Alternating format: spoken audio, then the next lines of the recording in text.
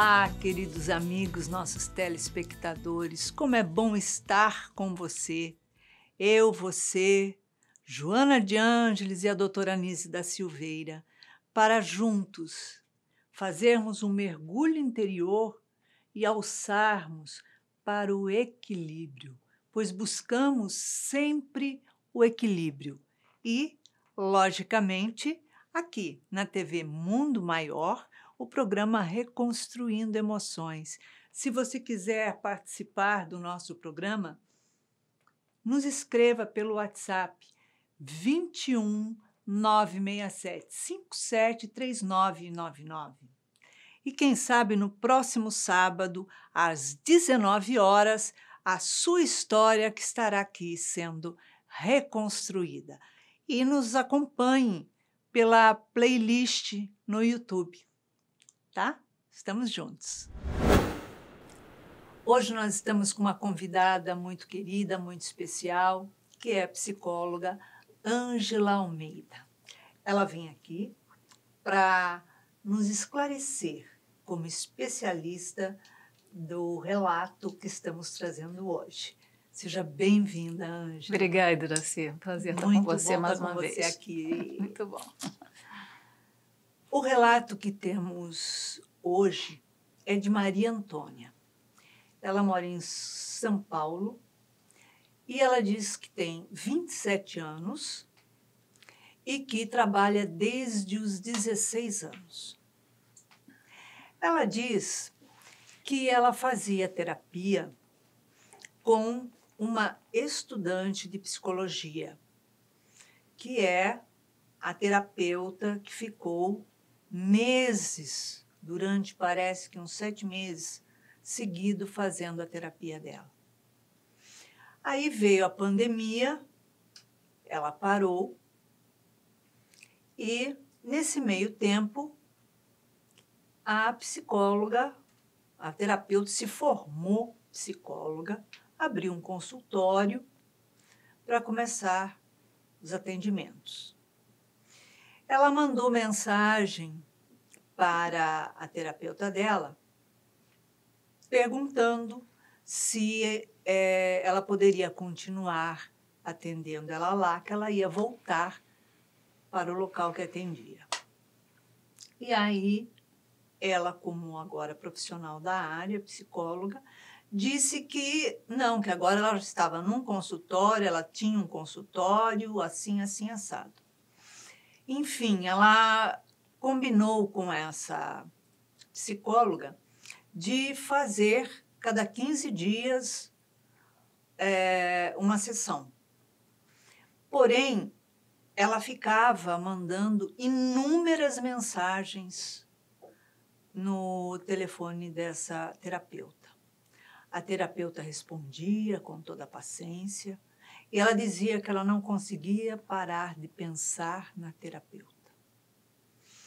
Pensando sempre na terapeuta, que essa terapeuta que ia resolver, porém, quando essa terapeuta muda a, situação, que passa a ter um consultório e avisa, chama ela para fazer esse atendimento, ela marca, não vai, remarca, marca, remarca, marca, remarca, e põe sempre para dali 30 dias, depois fica sem conversar, depois mais 30 dias, e arruma sempre uma, uma desculpa ali, mas que ela tem essa dependência, porque ela não para de pensar na terapeuta, mas na situação de antes e não agora que ela desconhecia, consultório, e atendimento pelo WhatsApp. Só quer conversar pelo WhatsApp, de não conseguir deixar de sobrecarregá-la de mensagens.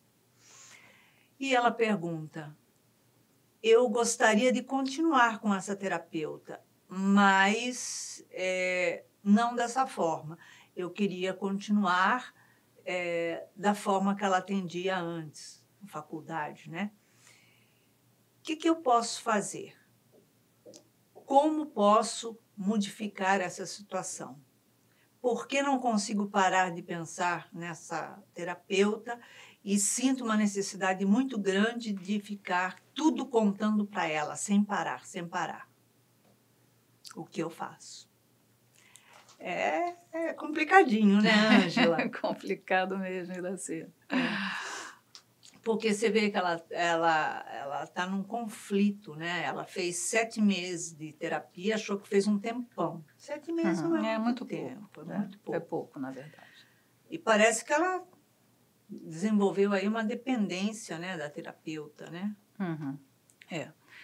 Tem uma dependência, assim, é natural que geralmente as pessoas que nunca fizeram terapia, né, que a primeira vez, numa primeira relação com um psicólogo, é, façam realmente um vínculo é, mais estreito, assim, né? Porque é uma, é uma, é uma novidade, é, pela primeira vez alguém de, dedicado a mim 100% ali do tempo, né? Me ouvindo, me amparando, me guiando, me orientando. Então, assim, é uma situação muito especial na vida de uma pessoa. E se você não tem essa experiência, nunca viveu né, a experiência de fazer uma psicoterapia, é natural que esse primeiro laço com um terapeuta seja realmente mais apertado, tá? Isso é natural é, sete meses é muito pouco. Né?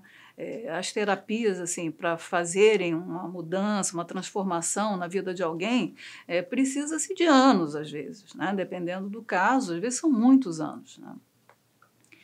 É, pelo relato que, que foi passado, assim, ela fez um vínculo com essa terapeuta, é natural, foi a primeira terapeuta dela, mas tem alguma questão aí, porque nessa mudança de status, vamos chamar assim, né, dessa psicóloga, né, ela era uma estudante de psicologia antes. Né? Uhum. É, os pacientes, eu já passei por esse estágio porque a gente tem que passar na faculdade pelo serviço de psicologia aplicada. Toda faculdade oferece isso gratuitamente a quem quiser fazer terapia e os é, estudantes passam por esse estágio. É um estágio não remunerado em que os pacientes também não pagam nada é uma relação delicada. Por quê? Fica uma sensação para o paciente de que aquele é, terapeuta que está ali não é muito profissional, tá entendendo? É quase que um ouvido amigo, né? É, hum, porque não tem a relação. É quase que uma amizade mais uma íntima. Uma amizade mais íntima, exato. Porque também não tem da parte do paciente um compromisso de estar pagando aquela pessoa. E, e é natural que esses pacientes também não olhem a gente como profissionais ainda. Né? Hum. É, eles sabem que a nossa condição ali ainda é de estudante, de aprendizes. Né? Então, assim, quando isso muda de status completamente, que a psicóloga passa a ter, ou enfim, né? no caso era uma mulher, a psicóloga dela, né? Isso. Passa a ter o seu consultório, muda a configuração completamente. Ela agora é uma profissional, ela tem o consultório dela e irá cobrar a consulta dela, né? Uhum. Porque vamos dizer, aquela história ali inicial vai ter que ser quase que reiniciada. Você tem que dar um restart quase é. numa situação como essa, entendeu? Mesmo porque, porque tudo passou muda. Pandemia, passou pandemia, uma coisa inédita na é. vida da pessoa, é. quer dizer, tudo é novidade. Tudo, tudo muda. Então, até para essa psicóloga, ela tem que profissionalmente se recolocar ali, se reorganizar em relação a essa paciente, Sim. porque mudou toda aquela configuração. Às vezes, os, os pacientes são tão sensíveis a, ao consultório, ao lugar que eles iam, que eles se incomodam imensamente, por exemplo, quando a gente muda de consultório. Ou quando muda o consultório, muda a decoração. É, existe ah, esse tipo é? tipo de reatividade, sim. É tipo, tipo uma, uma Você mexeu na minha casa. É tipo uma, uma, uma dependência que desenvolve que é, o consultório é como se fosse uma extensão de mim. É, exatamente, é, é exatamente. Como se fosse um pouquinho a minha casa, o meu cantinho, né? Para o paciente rola um pouco essa sensação. Então, assim, eles não gostam muito que a gente reconfigure, que a gente fique mexendo muito, não. Eles observam, às vezes chateiam, é, dizem que está mais feio, que não está tão bom quanto antes, enfim, tem, tem sempre alguma história. eu já vivi isso, assim, paciente de muitos anos em terapia, e eu fui atender num outro lugar ela ficou imensamente incomodada e reclamava quase que toda a sessão que aquele lugar tinha sempre algum problema, entendeu? Ela descobria sempre algum ah. problema no novo consultório. Assim, dentro do, do, nosso estudo de psicologia, a gente sabe que tem uma coisa que se chama setting terapêutico. Né? O setting terapêutico tem a ver com um monte de detalhes. O horário que aquela sessão é marcada, né? A, o lugar, né? É, vamos dizer, o bairro. Tem uma série de detalhes que fazem com que aquele ambiente se torne um setting para aquela pessoa. Sim. Então, acho que uma parte da reatividade dessa nossa amiga tem a ver com essa grande mudança que houve, né? E uma não aceitação dela, né, de que aquela amigona dela do peito agora é uma psicóloga, uma psicoterapeuta formada e que vai cobrar sim a consulta dela.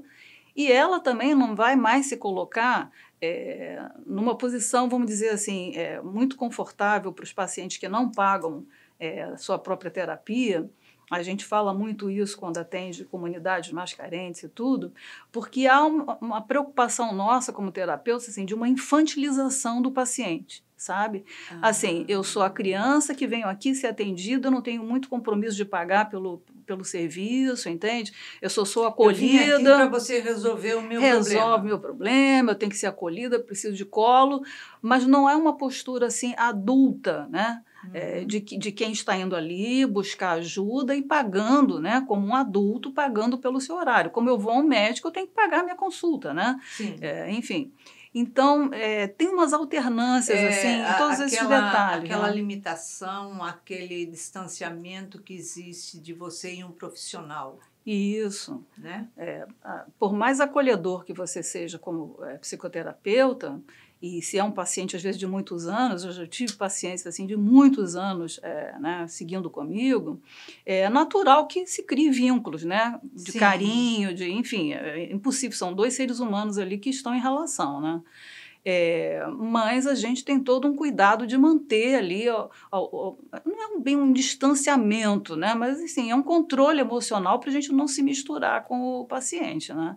E daí a gente precisa de supervisão, a gente geralmente tem o nosso supervisor que ajuda nos casos, é a nossa própria psicoterapia, enfim. Então, o profissional tem que se é, proteger também um pouco, né, para poder atuar ali da melhor maneira com aquele O profissional paciente, né? também né? tem que fazer terapia. É, é o ideal. Pelo menos no, no início, né, quando a gente sai ali da formação, é preciso uns bons anos de terapia. O profissional precisa disso, né? Resolver também as suas questões minimamente, né? É. E supervisão, né? A gente tem que ter. Isso aí é para a vida, né? supervisão dos casos, porque às vezes um outro olhar, né, é, de quem está fora ali da situação é muito importante, né, porque a gente se vincula, né, com o paciente também. Tem histórias às vezes de vida entre um paciente e um terapeuta muito semelhantes. Então, o próprio Freud eh, trouxe essa visão né, da transferência, que é a relação de, de afeto e de amor do paciente em relação ao terapeuta, né, mas existe a contra-transferência, que é como o terapeuta passa a sentir aquele paciente dele, né? Se fez alguma ponte com algum caso familiar dele, entendeu? Com alguma vivência dele de infância, se bate alguma coisa, né? É, de sentimentos e tal entre os dois. Então tem que ter um olhar de um, de um supervisor, né? É, eu, é, eu esqueci, inclusive, de colocar, é, pontuar, que ela se sente ameaçada. Hum. Ela se sente ameaçada e ela está fixada em mandar essas mensagens. É. Nesse caso, dela falar que se sente ameaçada, é, ela se sente ameaçada porque ela desenvolveu uma dependência com, com essa terapeuta, é isso? É. Ela, ela tem uma dependência. Ela tem compulsão de é. mensagens, né? É. Ela tem uma dependência daquela terapeuta que estava lá na universidade. Essa é a minha leitura, tá certo? Tanto que ela vai postergando, postergando mais 30 dias, mais 30 dias, mais 30 dias, para realmente começar a terapia dela que é isso que eu estou dizendo, é um novo começo com uma nova roupagem, né? Que Como ela vai ter que viver. Outra, é, outra é. terapeuta. Então, assim, ela está dependente daquela menina que era estudante de psicologia, que dava colo a ela, entende? Inexperiente, mas. Ah, ah, ah. Ela está dependente daquela menina. Mas está reativa agora à psicóloga, entendeu? Que se formou, que já é uma profissional, etc, etc. Então ela está meio que de implicância com ela essa, terapeuta, mas, mas, mas não quer, não quer, mas quer aquela lá. É, quer aquela, não quer ter essa profissional na vida dela. É, a profissional está incomodando um pouco a ela, entendeu? Essa é a minha leitura, assim, do meu ponto de vista, essa mulher agora que, enfim, a gente uh, fica com outro jeito, né? Assim, na hora que a gente se forma, tem um diploma, a gente ganha uma outra segurança, né? A gente ganha realmente uma uma, enfim, uma maturidade ali, né, para estar tá, né, com mais Sim. confiança com o paciente na sua frente e tal. Muda muito, né, tudo da, da vida de um terapeuta, né, quando, depois que você se forma, né. Então, assim, é, para o paciente é uma coisa complicada, né, porque é, ele vai estar ali de um jeito diferente com aquela, com aquela pessoa, entendeu? Uhum. Assim, é claro, é, a gente olhando parece uma coisa sem sentido. Ah, não, mas é a mesma psicóloga que vai continuar com ela. Mas não, a configuração mudou tanto, né? Que para essa moça, eu não sei, assim, a gente não sabe qual é a história dela de vida, né? Uhum. Qual é a história pregressa dela. Mas ela se super sensibilizou com toda essa transformação e não está querendo abrir mão daquela história dela anterior com a, com a psicóloga, entendeu? É, no caso, é, ela estaria olhando é, a terapeuta dela até então como uma, uma amiga mais íntima, Isso. quase que de igual para igual. Isso. Aí dá um corte porque inicia a pandemia, quer dizer, é tudo novo. Isso. Então dá um distanciamento. E nesse distanciamento, quando ela é, volta para fazer terapia, nesse distanciamento, é, ela não conseguiu voltar a ser o que era, voltar na condição que era. Onde ela parou, ela uhum. estagnou ali uhum. e ela quer fazer o retorno para o mesmo lugar e não está conseguindo. Uhum, exatamente. Né? exatamente. Então, é, e essa compulsão que gera a mensagem, é, será que porque a terapeuta está respondendo, ou respondendo mais ou menos, ou não está respondendo, isso pode gerar algum, algum outro transtorno, alguma coisa? Bom, pelo que eu li da história, a terapeuta está sendo muito gentil, muito simpática e acolhedora, está respondendo a ela, entendeu? Está sendo, enfim, é, bastante sensível em relação à, à situação dela. É, o problema é que a gente também não pode permitir que um paciente, né, quer dizer, fique nessa história sem fim de uma relação por WhatsApp, entendeu? Isso não é psicoterapia. Né? Isso é papo de amigas, né? de conhecidas, Cada de coisa que acontece tem que é, contar, tem é, que contar, é, tem que contar e tem que saber o que acha, o que pensa, o que é, quer. É, é. Né? É. Então a gente não pode dar, dar muito, alimentar muito esse tipo de coisa dos pacientes, não.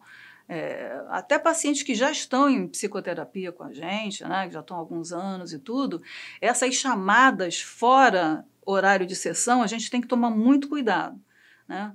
Porque nós temos aqui nossas fragilidades. Então, tem muita manipulação, às vezes, do paciente em relação ao terapeuta, sabe? Ocupando muito do, do, do espaço do terapeuta em família, né? Ou do terapeuta com outras pessoas. Essa pessoa meio que quer o, o, o esse paciente, às vezes, quer o terapeuta só para si.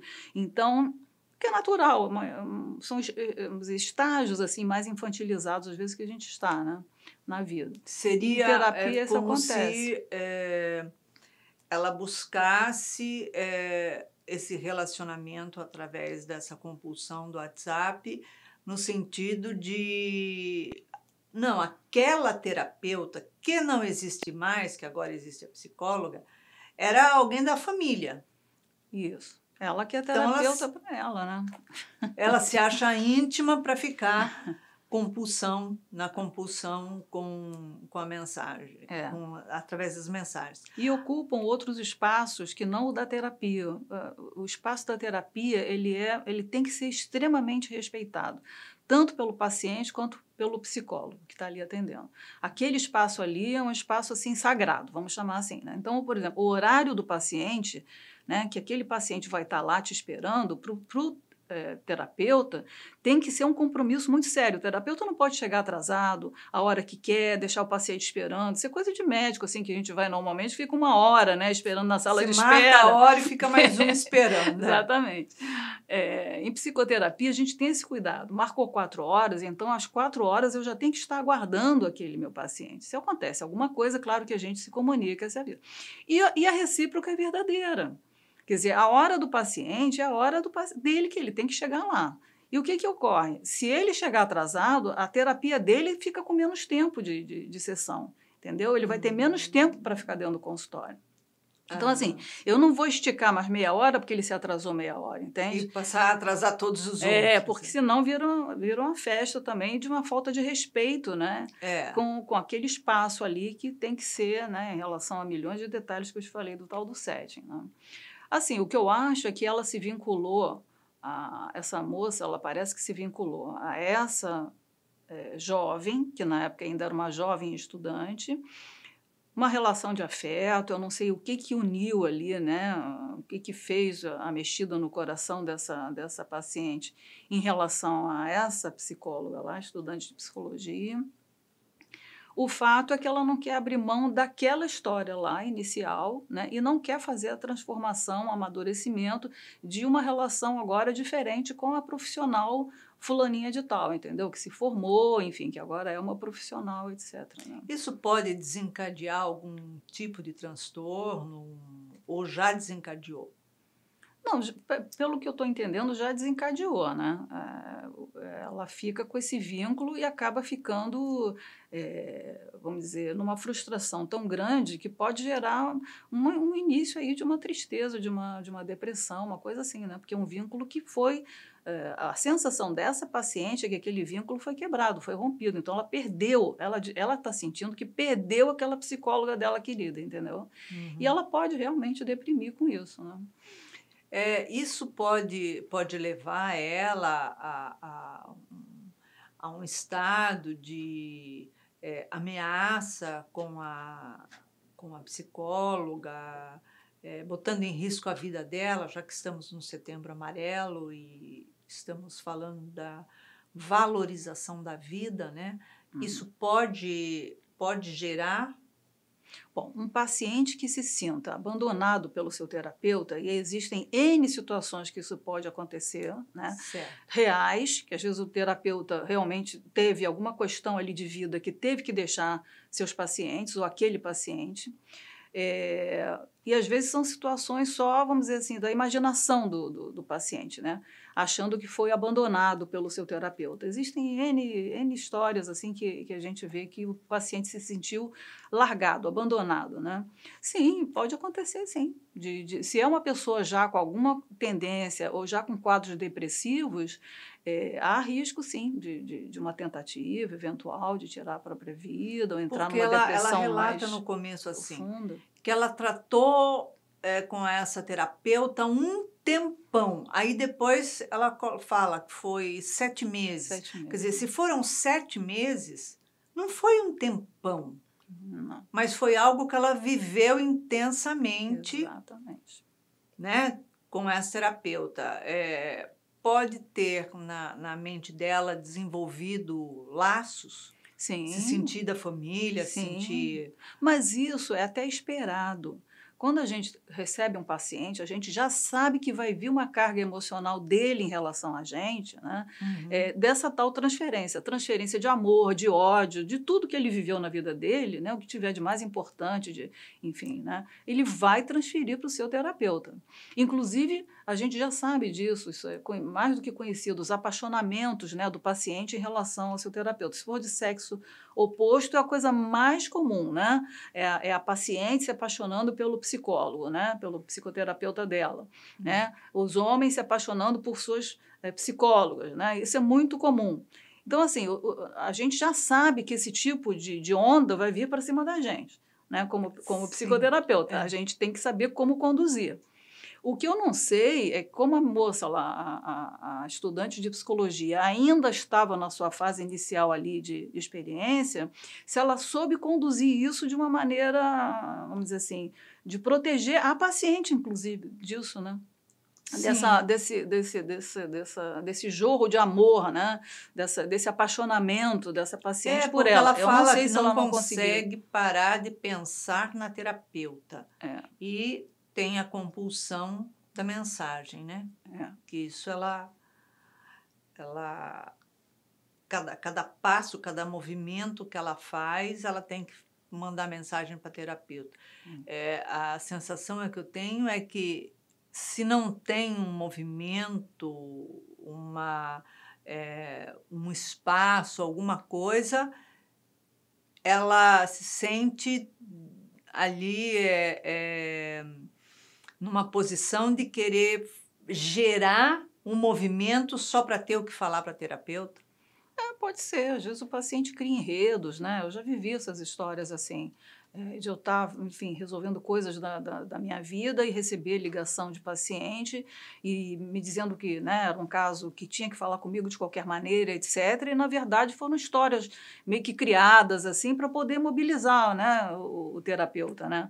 Sensibilizar ah. o terapeuta, né? Então, deixa eu contar aqui que é uma coisa terrível, né? Que aí o, o, o, terapeuta vai me atender de qualquer maneira e tudo mais, né? E aí eu vou mantendo esse vínculo com ele. Hoje, minha sessão é na sexta-feira às 10 horas da manhã, mas hoje é segunda-feira eu fiz o vínculo com ele. Eu falei com ele, eu tive esse contato, né? Eu fiz essa ponte com ele. Aí chega na quarta-feira à noite, tem algum recadinho, tem alguma coisinha. Então, na quarta-feira, entende? Eu não perco a minha ponte com ele durante uma semana inteira, né?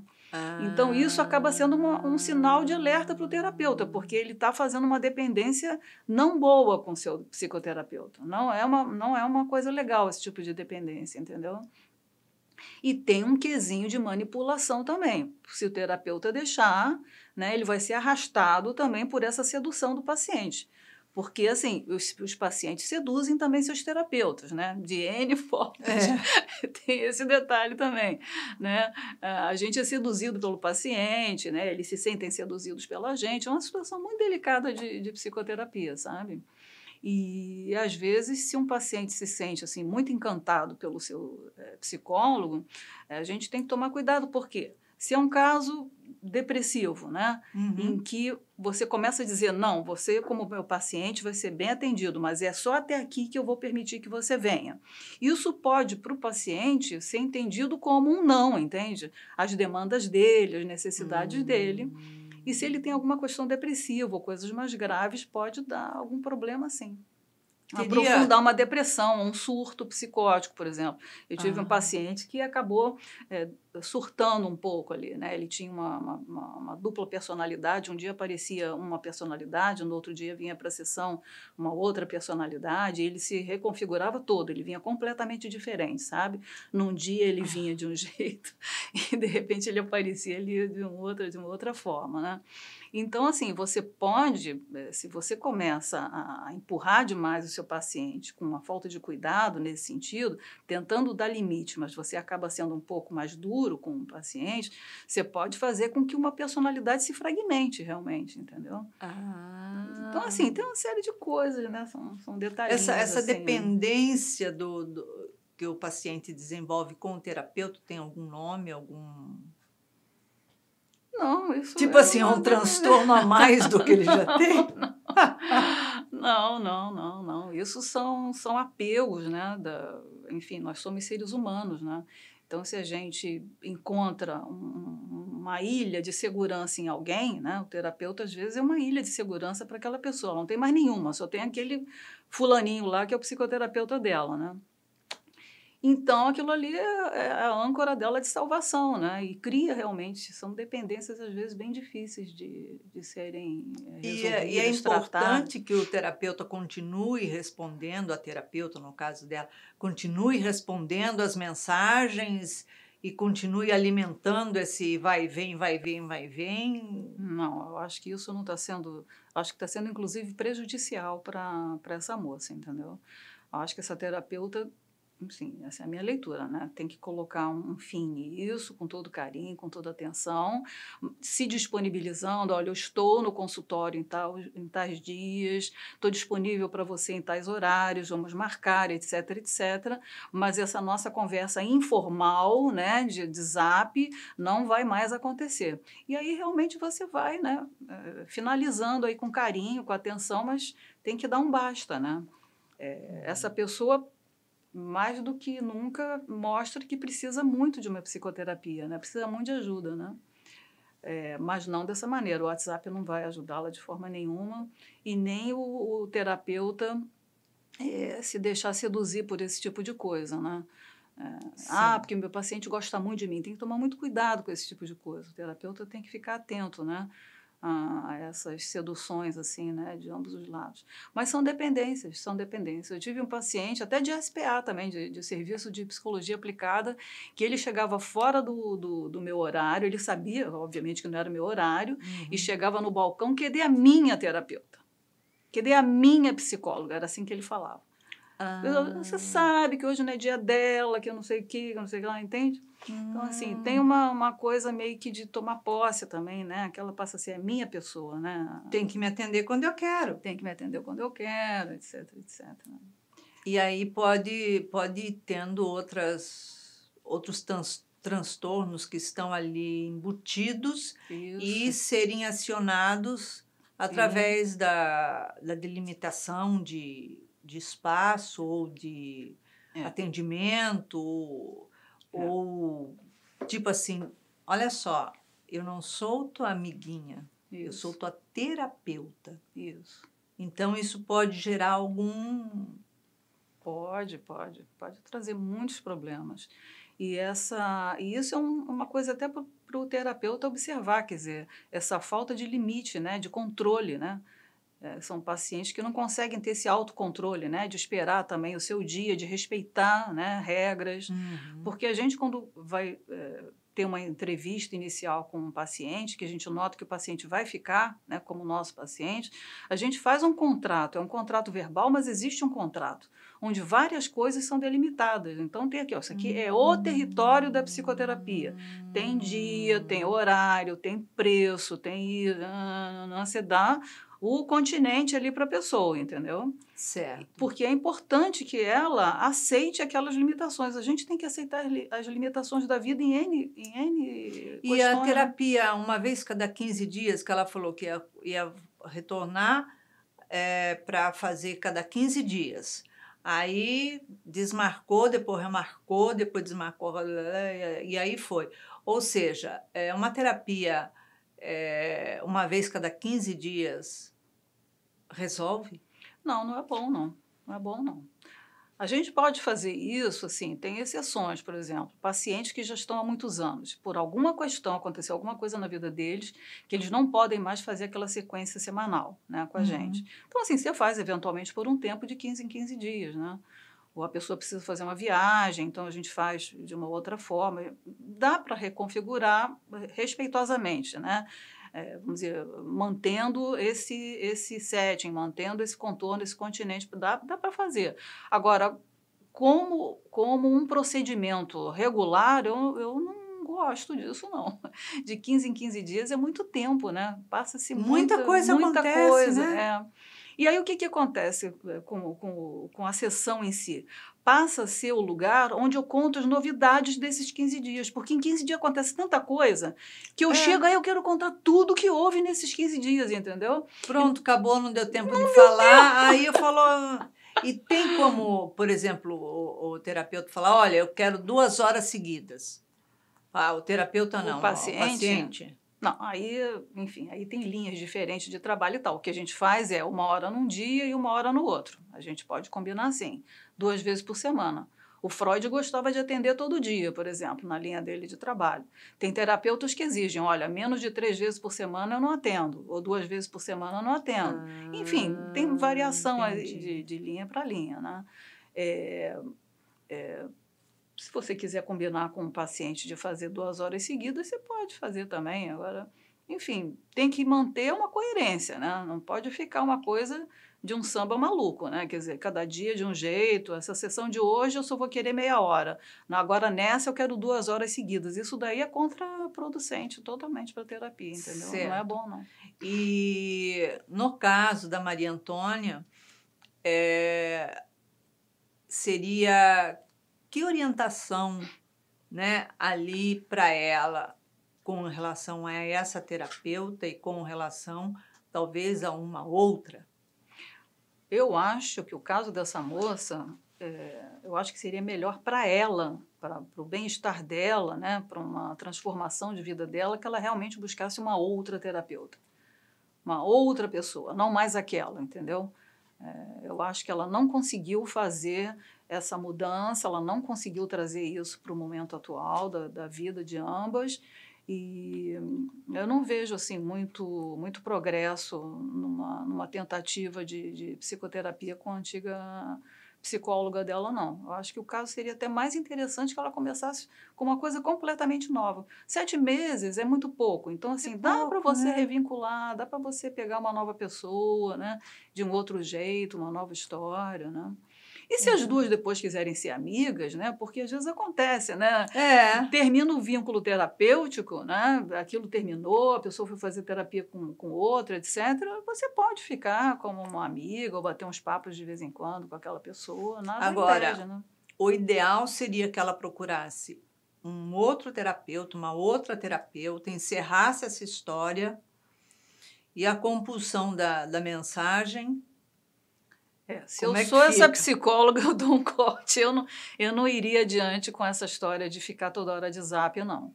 É, porque ela ainda busca aquela menina que atendia ela, entendeu? Ela não está buscando ali um amparo, um papo com uma amiga, né? Ela não transformou essa antiga psicóloga agora na, na nova amiga dela.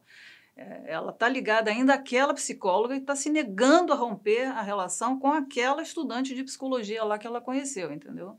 Então, assim, eu não acho nada, nada, nada bom. Eu acho bem ruim, na verdade. Acho que tem que ser um novo psicólogo e essa é, psicóloga antiga dela tem que tomar um pouco de cuidado de como ela vai conduzir essa questão de zaps constantes e dessa demanda toda porque aí a gente vai acabar numa situação pior é, emenda do que o soneto. Ela vai ter uma nova psicóloga para ela, recomeçar ou começar uma nova história, hum. vinculada com a antiga, então você fica com uma dupla referência. E é aí que eu acho que. E aí, provavelmente, falando o tempo inteiro com, com a outra, né, com a primeira, e é, criando os conflitos entre a, a, o que ela está sendo orientada ou sei lá, né?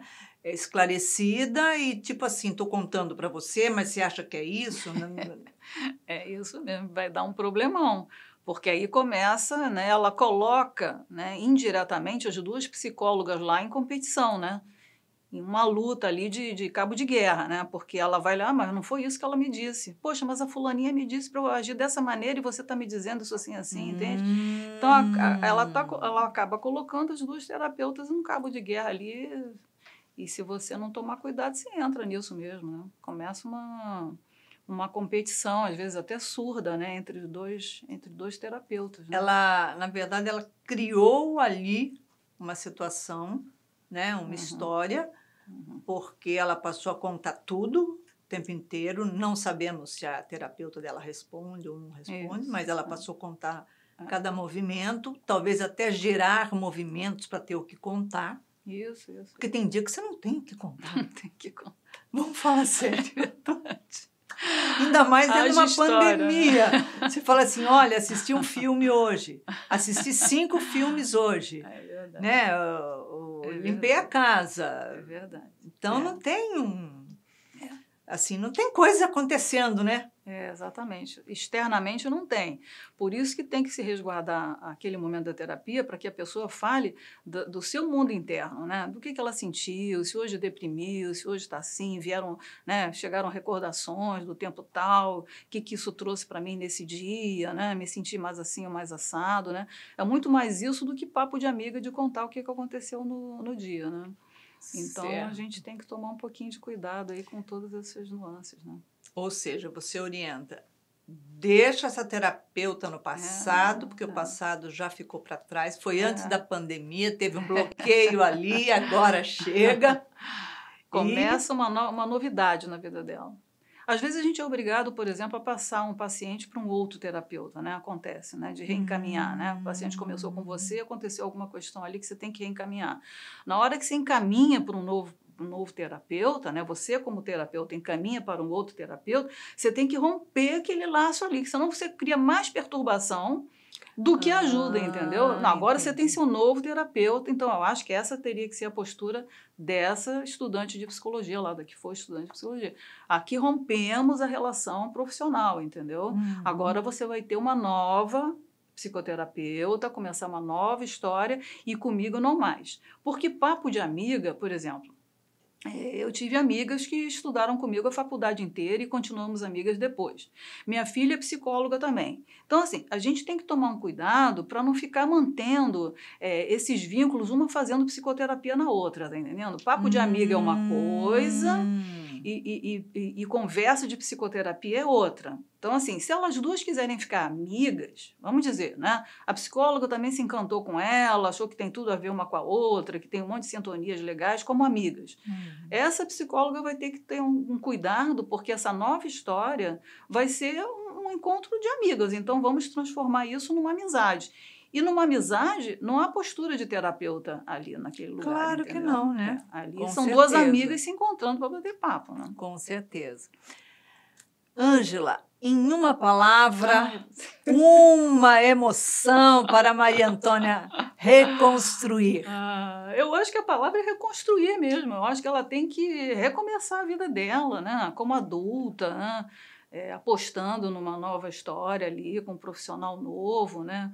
É, eu acho que tem a, a palavra também confiança, confiar uma- numa nova pessoa, né? Como para lhe ajudar ali, para, enfim.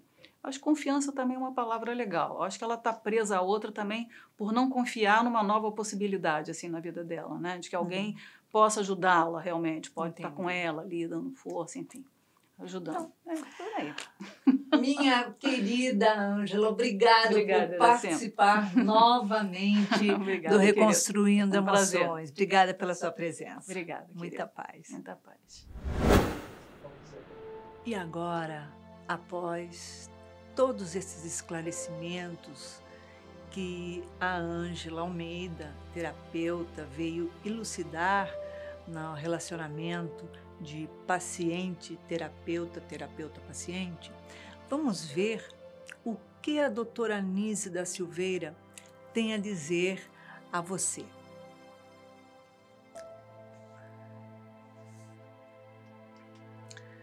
Transtorno de depressão reativa. É um transtorno de adaptação que surge nas circunstâncias em que o indivíduo sofre um estresse emocional identificável. A condição que ocorre o estresse normalmente é pontual, como um acidente de automóvel, o final de um relacionamento, a reprovação numa prova importante, a perda de um emprego, ou pode acontecer com múltiplos, múltiplos fatores em que o indivíduo somatiza os desafios e não consegue ter aceitação nem administrar. Substancial ao ser humano, defronte das incalculáveis situações e ocorrências emocionais que tem transitado, no que tange à terapia especializada, explore cada minuência, de maneira a encontrar a origem do transtorno de depressão que salienta, compreendendo que na constituição física se expressam as emoções que se deparam abafadas na alma e carecem ser libertadas e suavizadas. Então, a doutora Anise da Silveira vem trazendo com primazia é, a, a delicadeza dos, das emoções que pupulam em nossas vidas, né? dos estresses que nos acontecem e como nós nos fragilizamos diante uma somatória de acontecimentos que vem agravando, né? Então, é, acontece uma coisa hoje, uma coisa amanhã, outra coisa outro dia, e são coisas fortes, né? Na, na, na vida da gente, no emocional da gente. E a gente vai se fragilizando. E sem dúvida nenhuma, é, isso pode desencadear né, uma explosão de emoções aí e, como a doutora Nise diz, vamos tratar com carinho. Então é isso. Se você quiser participar do nosso programa, escreva pelo WhatsApp 21 967 57 3999. E quem sabe no próximo sábado às 19 horas, a sua história estará sendo reconstruída aqui na TV Mundo Maior. Beijinho carinhoso e uma ótima semana.